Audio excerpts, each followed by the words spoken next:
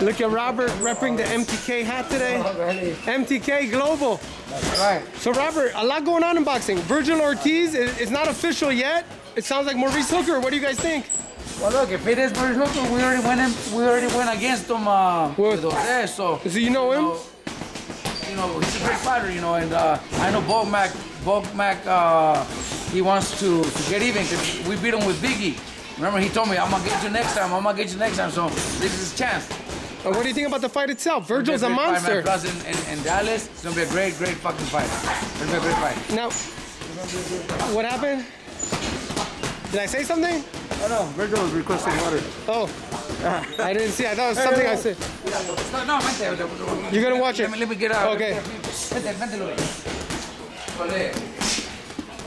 They're working. They're working. Uh, Azat Hovhannisyan, number one, 122 in the world. This is live. You guys are watching live. A day at the gym live. This is what happens. Caballo, ¿cómo estás, campeón? Todo bien, todo bien. ¿Feliz? Feliz, trabajando fuerte. Gracias a Dios. No fácil. No fácil. It's not easy being a boxing star, but he's working. David Navarro, 2 0 as a pro, working. Was on Team USA to the Olympics. Here you have Jackson Marinez, who's fighting. Um, you're fighting February 13? You're fighting February 13?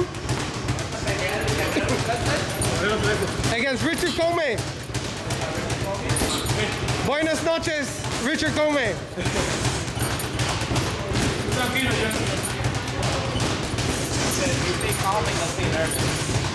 Tranquilo.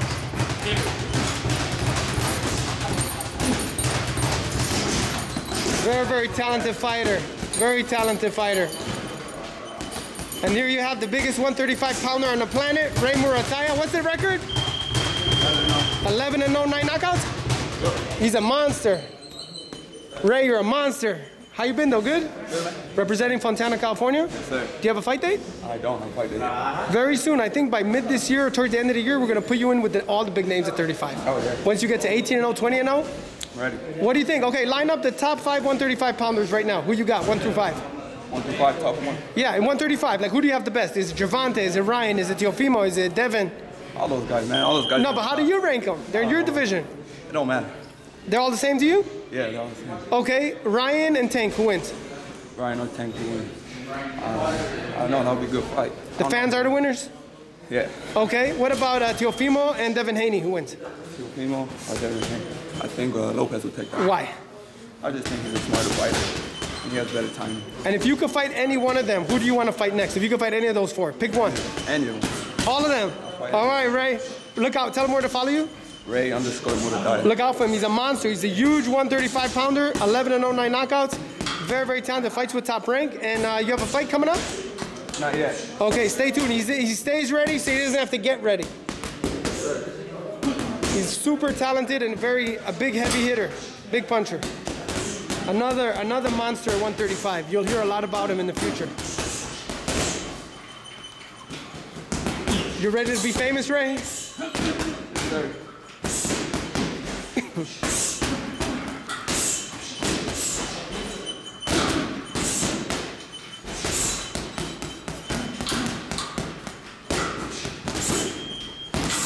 Vergil might fight uh, Maurice Hooker from Dallas, who just uh, fought for the title at 140.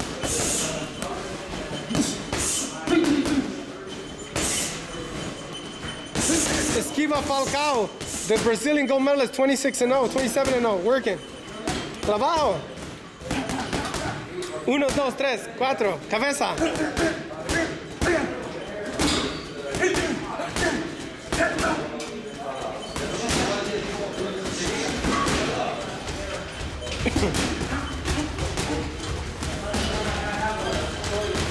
So look out for Ray Morataya doing big things in boxing.